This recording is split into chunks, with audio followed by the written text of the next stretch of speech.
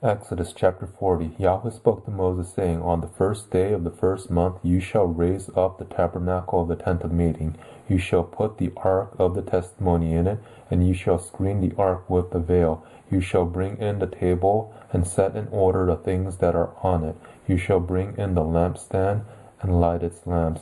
You shall set the golden altar for incense before the ark of the testimony, and put the screen of the door to the tabernacle. You shall set the altar of burnt offering before the door of the tabernacle of the tent of meeting.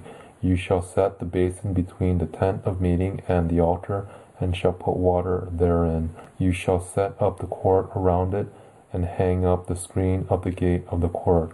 You shall take the anointing oil, and anoint the tabernacle, and all that is in it, and shall make it holy, and all its furniture, and it will be holy. You shall anoint the altar of burnt offering with all its vessels, and sanctify the altar, and the altar will be most holy. You shall anoint the basin and its base, and sanctify it.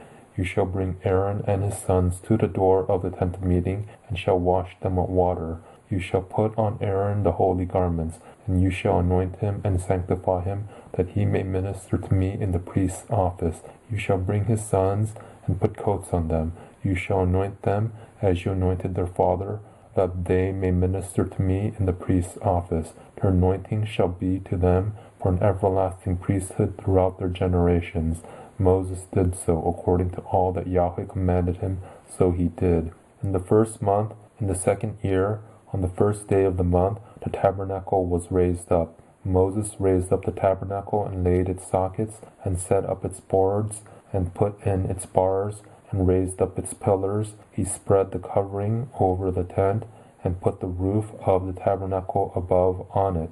As Yahweh commanded Moses, he took and put the testimony into the ark, and set the poles on the ark, and put the mercy seat above on the ark. He brought the ark into the tabernacle, and set up the veil of the screen, and screened the ark of the testimony as Yahweh commanded Moses. He put the table in the tent of meeting, on the side of the tabernacle northward, outside of the veil. He set the bread in order on it before Yahweh, as Yahweh commanded Moses.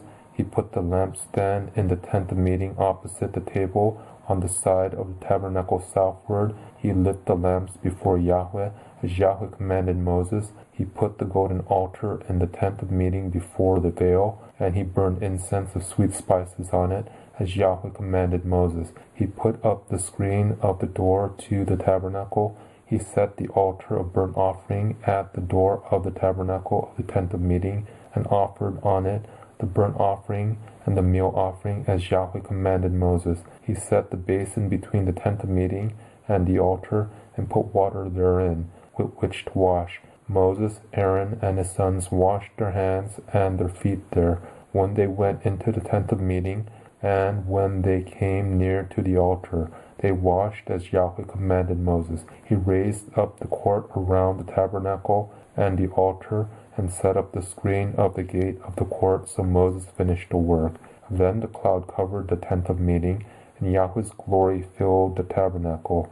Moses wasn't able to enter into the tent of meeting because the cloud stayed on it, and Yahweh's glory filled the tabernacle. When the cloud was taken up from over the tabernacle, the children of Israel went onward throughout all their journeys. But if the cloud wasn't taken up, then they didn't travel until the day that it was taken up. For the cloud of Yahweh was on the tabernacle by day, and there was fire in the cloud by night, in the sight of all the house of Israel throughout all their journeys.